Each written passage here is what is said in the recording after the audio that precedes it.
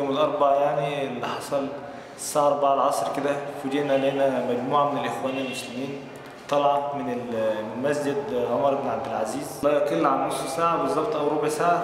وأبص ورايا لقيت في ناس كتير جاية داخلين بيجروا وبيهتفوا بيقولوا الله أكبر تكبير الله أكبر حي على الجهاد وكده.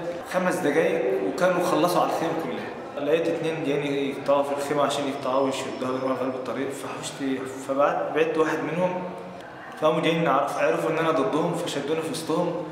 في مجموع يعني في العدد الرهيب ده شدوني أنا في وسطهم. فوجئت لقيت واحد من ورايا قام جاي من ورايا جاي على ودني جاي إيه بسنانه جاي إيه قاطع منها حتة. قطع الجزء ده كله بسنانه. قطع الجزء ده كله بسنانه.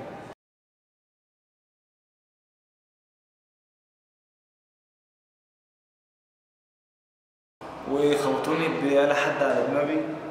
فتحوا لي فتح فتح هنا. هنا فأنا ما حسيتش غير لما لقيت الدم نزل على نزل على هدومي نزل على جسمي كله على وشي يعني كده. فنازلين فيها ضرب رغم إن الدم نزل على وشي ونزل على هدومي ومش راضيين يسيبوني. ففي واحد اتدخل يعني عشان يطلعني من وسطهم فهم إيه وهو بيطلعني من وسطهم مش راضيين يخلوه يطلعني.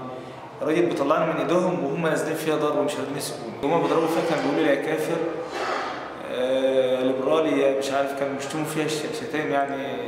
فيها يعني وكده. وكان مش عارف كان الدين الإسلامي ظهر في عصر محمد مرسي أو مش عارف يعني. لحد ما طلعت لقيت أصحابي واقفين بره فبقول لهم فبقول فبقول, فبقول لهم ال- في, ودني فيها إيه؟ فقالوا لي ما فيش تعالى بس الأول. قلت لهم طب الحته قالوا لي ده مكتوم أنا قلت لهم طب الحتة اللي انقطعت موجودة ولا مش موجودة؟ قالوا لي لا موجودة يعني. عشان عشان يخلونا نمشي يعني كده بيدوروا على عربية اسعاف عشان نركب عشان نمشي مش لاقيين عربية اسعاف الإخوان محجمين على عربية الاسعاف مش مخلينها تطلع تنجل أي مصاب الرئيس اللي يحلل دم المصريين ويحلل دم الشعب المصري ده ما ينفعش يكون رئيس للشعب المصري. اللي يقسم الشعب المصري إلى طوائف ويهتم بجماعته بالإخوان والسلف ده ما ينفعش يكون رئيس لنا.